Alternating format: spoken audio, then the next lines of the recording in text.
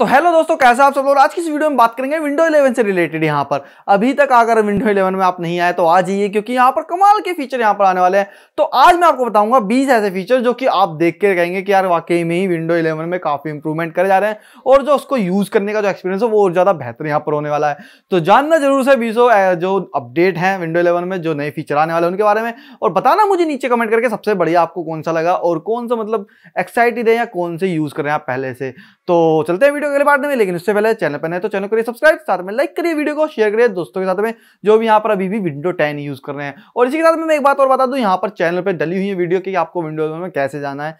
दो तीन मेथड भी यहाँ पर हमने बताया जो पसंद आए उसको अपनाइए और जाइए और चेक करिए।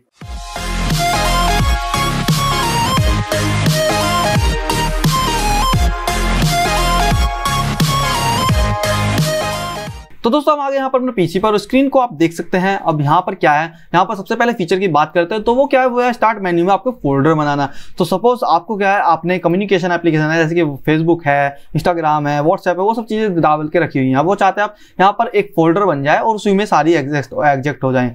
तो उसके लिए क्या करना होगा? सपोज़ जैसे मैं गेम की यहाँ पर करता हूँ तो एक्सबॉक्स है तो एक्सबॉक्स को अगर मैं यहाँ पर टू डू लिस्ट में डाल देता हूँ तो यहाँ पर ऐड हो जाता है।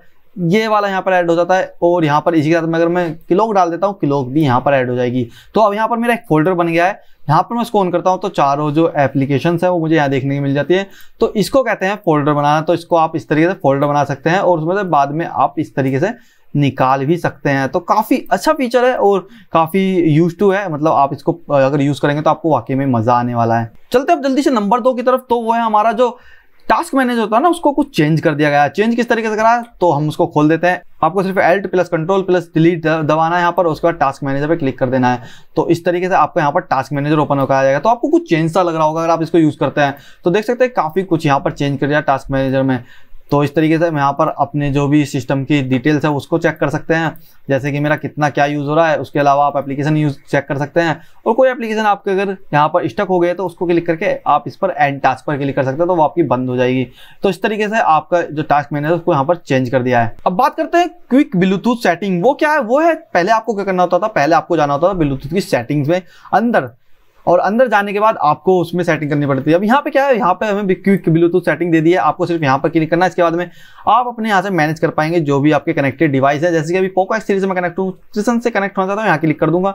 मी भी डुओ पोर्ट से कनेक्ट होना चाहता हूँ, यहाँ क्लिक कर दूँगा। मी भी रोम से कनेक्ट होना चाहता हूँ, यहाँ पे रू क्लिक कर दूँगा। और इसी तरह से यहाँ पर जो नहीं पेयर है, वो उनको तो यहाँ से मैं क्विक सेटिंग कर सकता हूँ क्विक चेंजेस कर सकता हूँ ब्लूटूथ में, जो कि काफ़ी अच्छे हैं और काफ़ी यूजेबल है। बात करते हैं अगले फीचर बारे में तो वो मिलने वाला आपको जल्दी डेस्कटॉप बैकग्राउंड स्टीकर यानी कि आपका जो बैकग्राउंड है ना डेस्कटॉप का, इस पर क्या है, आप इस पर स्टिकर्स यूज़ कर पाएँगे और मतलब अपने जो वॉलपेपर है उसकी जगह आप यहाँ पर स्टिकर यूज़ कर पाएँगे। अभी वो आने वाला है, जल्दी आपको देखने मिलेगा, लेकिन काफ़ी कमाल का होगा। आप इस पर भी मतलब कस्टमाइजेशन को लेकर भी विंडो 11 पर काम किया जा रहा है। बात करें अगले फीचर बारे में तो वो भी काफ़ी कमाल का यहाँ पर है। आपको उसके लिए क्या करना होगा? अपने माउस के कर्सर को यहाँ पर लेके जाना है अपने स्पीकर पर। और यहाँ सिर्फ़ आपकी स्क्रोल करनी है अपनी बॉल को। तो इस तरीके देख सकते हैं आपको कुछ चेंजेस देखने मिलेंगे। यानी कि अब आपको साउंड को कम ज़्यादा करने के लिए अपने कीज का इस्तेमाल नहीं करना है। सिर्फ़ यहाँ पर अपने कर्सर को रखना है और अपनी जो बॉल है, आपको उसको स्क्रोल करना है। तो उसको ऊपर की तरफ़ स्क्रोल करेंगे तो कम होगा। नीचे की तरफ़ स्क्रोल करेंगे तो आपकी साउंड ज़्यादा और ज़्यादा होगी। तो काफ़ी कमाल का और यूजेबल फीचर है। वाकई में मज़ा आ गया इससे तो। बात करें अगले फीचर की तो आप देख सकते हैं यहाँ पर आपको वॉइस असिस्टेंट देखने को मिलेगा। तो आप इस तरीके से टाइप कर सकते हैं, कुछ भी यूट्यूब टाइप करेंगे तो आपका वो काम करेगा सिर्फ़ आपके वॉइस से और उससे ही आप कंट्रोल कर पाएँगे अपने पूरे मतलब अपने पैनल्स को। तो इस तरीके से आप यहाँ पर ए वन बोलेंगे तो वन पैनल चालू हो जाएगा टू बोलेंगे तो टू पैनल चालू हो जाएगा। बात करें अगले फीचर की तो वो है आपका लाइव कैप्शन तो लाइव कैप्शन काफ़ी कमाल का है। इसमें क्या होगा? सेटिंग में जाना आपको एक्सेबिलिटी में जाना है और यहाँ जाने के बाद आपको सर्च करना होगा। कैप्शन तो यहाँ पर आप कैप्शन देख सकते हैं, इस पर क्लिक करना और इसको आपको ऑन कर देना है। तो जैसे ही आप लाइव कैप्शन ऑन कर देंगे तो आपको क्या होगा, यहाँ पर इस तरीके से डाउनलोड कर लेना है। इसके बाद में क्या होगा, आपके स्क्रीन पर कुछ भी आपको साउंड सुनाई दे रही होगी या दिख रहा होगा तो वो आपको लिखा हुआ यहाँ साइड में दिखने लगेगा, जो कि काफ़ी कमाल का यहाँ पर फीचर है। और आपको मतलब हर एक जो भी कोई बंदा बोल रहा होगा या कुछ भी कर रहे होंगे, आपको वो, आपको लाइव दिखने वाला है। उसके शुरू करने के लिए विंडो कंट्रोल प्लस एल आपको दबाना होगा तो उससे आपका लाइव कैप्शन शुरू हो जाएगा। बात करें एक और फीचर के बारे में, जो कि काफ़ी मिस कर रहे थे हम लोग। यार, काफ़ी मतलब बहुत ही ज़्यादा इंपॉर्टेंट था, वो था ड्रैगन ड्रॉप तो यहाँ अब आपका ड्रैगन ड्रॉप काम करता है। तो इस तरीके से अगर मैं इसको ओपन करके रखता हूँ सॉरी इसको ओपन करता हूँ और आपको दिखा देता हूँ ड्रैगन ड्रॉप मतलब इन्होंने निकाल दिया था, मैंने उसके जुगाड़ भी बताया था किस तरीके से आपको यूज़ करना है। तो चाहे तो आप उस तरीके से यूज़ करते थे, लेकिन अब आपको उसकी कोई ज़रूरत नहीं है। अब जैसे मैंने यहाँ पर कोई भी डिस्क अपनी खोल लेता हूँ सपोज़ यूट्यूब खोल लिया तो यहाँ पर मैं ड्रैग एंड ड्रॉप कर सकता हूँ। ये देख सकते हैं आप इस तरीके से, और इसको मैं नीचे कर देता हूँ तो यहाँ पर इस तरीके से मैं ड्रैग एंड ड्रॉप कर पाऊँगा। तो ये ड्रैग एंड ड्रॉप काफ़ी इंपॉर्टेंट फीचर था जो कि लोग इन्होंने विंडो 11 से निकाल दिया था। वो अब आपको यहाँ पर वापस से दे दिया गया है। बात करें एक और फीचर के बारे में जो कि है आपका फोकस तो यहाँ पर जो फोकस है आपको यहाँ पर इस तरीके से सेट कर सकते हैं। देख सकते हैं थर्टी मिनट पैंतालीस फोर्टी फाइव मिनट पंद्रह मिनट और यहाँ पर फोकस पे क्लिक करेंगे तो आपका जो फोकस असिस्टेंट है, उसको यहाँ पर और ज़्यादा इंप्रूव करा गया है, जो कि आप इस तरीके से यहाँ पर देख सकते हैं। और यहाँ पर इसको स्टार्ट करके मतलब इसमें काफ़ी इंप्रूवमेंट करे गए अगर आप फोकस असिस्टेंट मोड चलाते हैं, यहाँ पर क्या होता है कि आप किसी पर्टिकुलर एप्लीकेशन पर ही फोकस रखते हैं अपने सिस्टम का तो आपका जो सिस्टम की रैम है सीपीयू है, वो सब उसी को पूरा मतलब जो भी फोर्ड है, उस पर लगाते हैं, उस एप्लीकेशन को रन करने में और वो स्मूथ यहाँ पर रन होती है। तो आप फोकस असिस्टेंट भी यूज़ कर सकते हैं। बात करें एक बात करें एक और बड़े चेंज के बारे में तो वह वॉल्यूम कंट्रोलर्स की जो यूआई है, जो जो हॉरिजॉन्टल आते हैं तो उनको वर्टिकल कर देगा उनको चेंज कर देगा तो अगर मैं यहाँ पर साउंड कम ज़्यादा करता हूँ तो आप देख सकते हैं यहाँ पर इस तरीके से साउंड का जो चेंजेस थे वो आपको देखने के लिए मिलने वाले हैं। तो नीचे इस तरह से आप साउंड को यहाँ पर पैनल को देख पाएँगे और कंट्रोल कर पाएँगे। अगला जो चेंज है वो है आपका यहाँ पर एप्लीकेशन चेंज को लेकर। तो पहले आप चेंज कर देते हैं एल तो टैब को दबा देते और इस तरीके से चेंज कर देते। हैं तो अगर आप अब अब जो है इस चेंजेस को यहाँ पर चेंज करने की बात हो रही है तो अगर मैं इसको यहाँ पर छोड़ देता हूँ और अब आपको एल तो टैब नहीं दबाना होगा आपको दबाना होगा विंडो एंड टैब अगर मैं विंडो टैब दबाता हूँ तो आप यहाँ पर देख, सकते हैं। इस तरीके से आपको चेंज होती हुई दिखेगी। तो इसको यहाँ पर अप्लाई करने की बात चल रही है तो ये भी एक बड़ा चेंज देखने के लिए मिलने वाला है। बात करते हैं एक और चेंज के बारे में तो वो है आज का स्नैप लेआउट चेंज तो यहाँ पर अगर मैं अपना क्रोम को ओपन कर लेता हूँ और यहाँ पर क्लिक करता हूँ तो यहाँ पर आप देख सकते हैं आपको माउस कर से ले जाने पर कुछ चेंजेस देखने मिलेंगे। यहाँ पर अगर मैं ये क्लिक कर दूँ तो इस तरफ़ मेरा जो एक क्रोम है, वो लग जाएगा इस तरफ़ स्क्रीन पर। लेकिन अब इसको चेंज करने के लिए यहाँ पर इसको मुझे टैप करना है और यहाँ पर ऊपर की तरफ़ लेके जाना है। तो देख सकते हैं कितने सारे यहाँ पर चेंजेस इस तरीके से आपको देखने में मिल जाते हैं। जहाँ पर स्क्रीन को अलग अलग पार्टीशन में कर दिया जाता है, जो कि काफ़ी अच्छी बात है। और आप इसमें मतलब मल्टी कर सकते हैं एक समय पर तीन चार काम अच्छे से कर सकते हैं।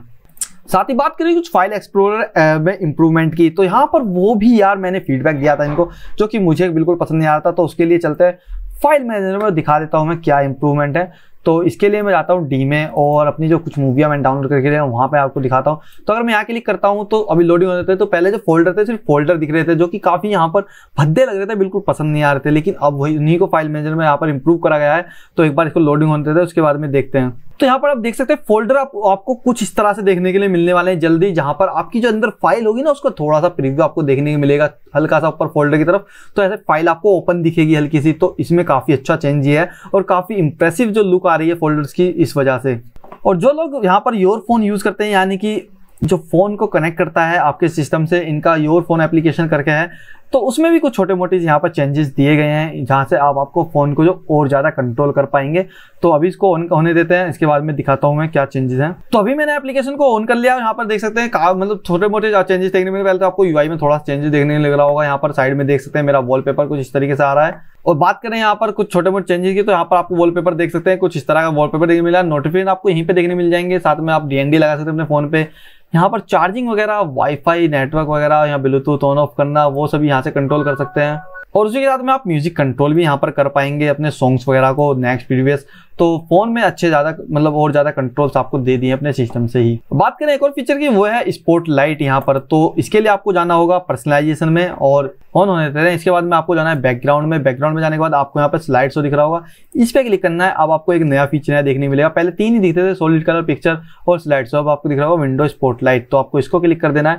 इसके बाद में आपके जो मतलब बैकग्राउंड के जो भी पिक्चर्स होगी ना, उसको अपने आप ये स्लाइड शो में लगा देगा। अपने स्पोर्ट लाइट में कुछ अपने पिक्चर्स ऐड करेगा। जो कि काफ़ी अच्छे से यहाँ पर इंप्रूव करी गई है। और देख सकते हैं आप वॉलपेपर कितना प्यारा यहाँ पर लग रहा है। अगर मैं विंडो स्पॉट लाइट को यूज़ करता हूँ। और यहाँ पर एक और ऑप्शन आपको देखने मिल जाएगा learn learn about this picture तो इस पिक्चर के बारे में आप जान सकते हैं। जैसे आपको फ़ोन में होता है ना, आपने, आप कुछ पिक्चर्स चेंज होती रहती है, उस तरह का यहाँ पर दे दिया गया है, जो कि काफ़ी अच्छा है यार। मतलब बैकग्राउंड एक को देखकर बोर होते रहते हैं तो यहाँ पर आपके बैकग्राउंड ऑटोमेटिकली चेंज होते रहा करेंगे। अब बात करें यहाँ पर नैरेटर की तो उसको और ज़्यादा यहाँ पर नेचुरल बना दिया गया है। उसके लिए अब चलते हैं सेटिंग में और आपको दिखा देता हूँ एक बार क्या कुछ इन्होंने करा है। तो सेटिंग में आने का आप, आपको यहाँ पर जाना है और इसके बाद में आपको यहाँ पर सर्च करना है नैरेटर तो सबसे नीचे की तरफ़ आपको दिख जाएगा नेटर यहाँ पर आपको क्लिक करना है। इसके बाद इसको ऑन कर देना है। ऑन करने के बाद यहाँ पर आपका क्या है? कुछ सेटिंग्स वगैरह होंगी, जो कि यहाँ पर पढ़ के बताएगा। तो इसमें क्या होता है? इसमें आपके जो भी टेक्स्ट होता है स्क्रीन पर उसको पढ़ के बताता है तो उसको काफ़ी ज़्यादा इंप्रूव करा गया और उसकी जो साउंड है, उसको थोड़ा नेचुरल मतलब जैसे कोई इंसान सामने पढ़ रहा ना उस तरह की यहाँ पर दी गई है। तो बात करें कुछ छोटे मोटे चेंजेस की तो यहाँ पर इन्होंने एचडीआर और यहाँ पर डीआरआर को इम्प्रूव करा गया है, जो कि आपके गेमिंग करते काम में आते हैं। जिससे कि आपकी स्क्रीन पे क्वालिटी है, उसको और ज़्यादा और जो कलर करेक्शन होता है, उसको और ज़्यादा इम्प्रूव कर देते हैं। तो उन पर भी यहाँ पर काफ़ी जो काम करा गया, उनको इम्प्रूव करा गया जो कि आपको देखने के मिल जाएँगे, जैसे आप यूज़ करेंगे तो हल्के हल्के नोटिस होने लगेंगे जब गेमिंग वगैरह करेंगे, जो कि मैंने खुद पर्सनल गेमिंग करते वक्त उस चीज़ को नोटिस किया है। मैं अक्सर गोड ऑफ़ आर यहाँ पर प्ले कर रहा हूँ आजकल, जो कि गोड ऑफ़ आर रेंगनोर करके आया है नया गेम कुछ आइकन चेंजिंग के बारे में बात करें तो यहाँ पर आप देख सकते हैं बैटरी का जो आइकन है उसको चेंज कर दिया है। यहाँ पर जो हल्की सी छोटा सा जो इलेक्ट्रिसिटी का पॉइंट होता है ना सिंबल होता है, उसको यहाँ पर लगा दिया है कि अभी यहाँ चार्जिंग हो रहा है। अगर मैं इसको निकाल देता हूँ तो वो पॉइंट यहाँ पर एक पत्ते के रूप में हो जाएगा चेंज हो जाएगा और अभी मेरा जो सिस्टम है बैटरी सेविंग मोड पर है, कुछ तरह का। और उसको मैं दोबारा लगा देता हूँ तो फिर से चार्जिंग मोड पर आ जाएगा।